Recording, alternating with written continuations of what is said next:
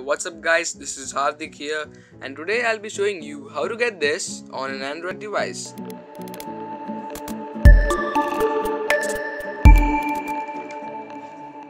So the first thing you need to download is Nova Launcher and after downloading Nova Launcher you'll see that the UI is similar to Android 4.4 KitKat. So if you want like Android 5.0 Lollipop go into the Nova settings drawer and then check mark the show pages as cards option.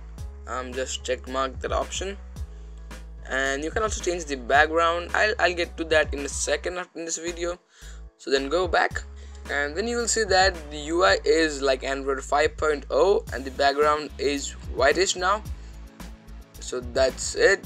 This this was the process to change the background color.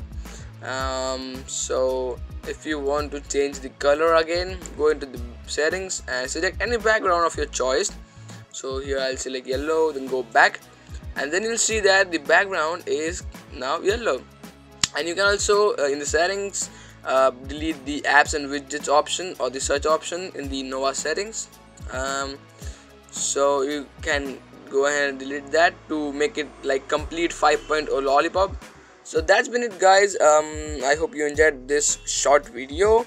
And if you did make sure to hit that thumbs up button and do share this video.